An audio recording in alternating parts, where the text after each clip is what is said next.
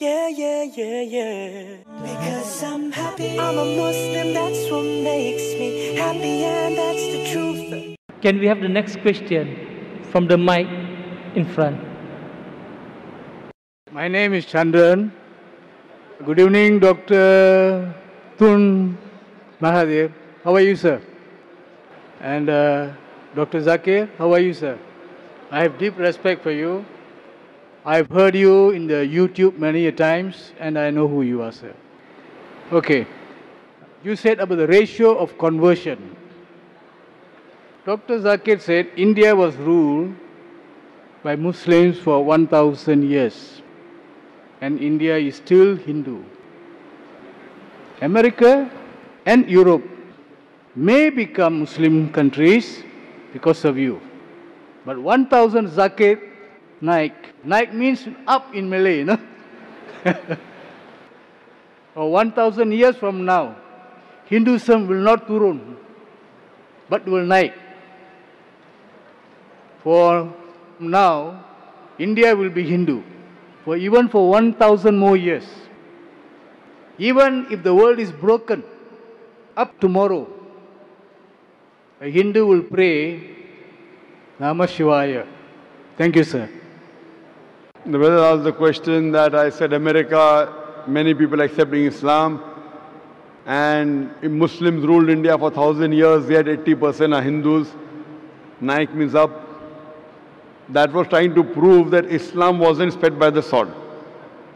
That answer I give in context that if Islam was spread by the sword, then the Muslims, when they ruled India for thousand years, they would have forced everyone to become Muslim. They did not do that. Regarding Hindu, brother, Hindu is a geographical definition for a person living in India. By definition, I am a Hindu. Hindu is a geographical definition, and I will remain a Hindu. It is not a religious definition. According to Pandit Jawaharlal Nehru, the word Hindu did not appear in any of the Indian literatures until the Arabs came to India. This word Hindu was given by the Arabs.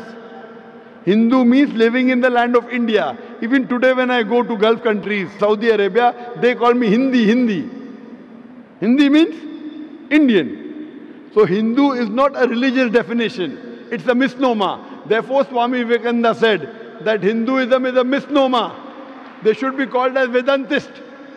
So if you say Hindu, yes, India will be there, inshallah. And I'm proud to be an Indian. And the people living in India are called Hindu. It's a geographical definition. It is not a religious definition.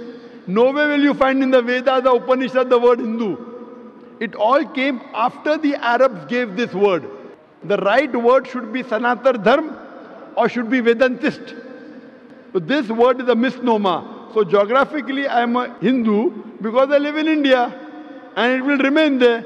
But as far as the religion, the fastest growing religion throughout the world, today is Islam, not only in the Western world, even in the Eastern world. Throughout the world today, the fastest growing religion in the world is Islam. And inshallah, inshallah, this religion will keep on spreading, as you said, Naik, going on top. I know that. Someone told me that. And in Sanskrit, Naik means a mujahid. It means a hero and means a mujahid. One should strive and I am a mujahid. Hope that answers the question. Thank you. Let me tell you about my happiness. Na, na, na, I get my happiness from Islam. It makes me kind and a better human.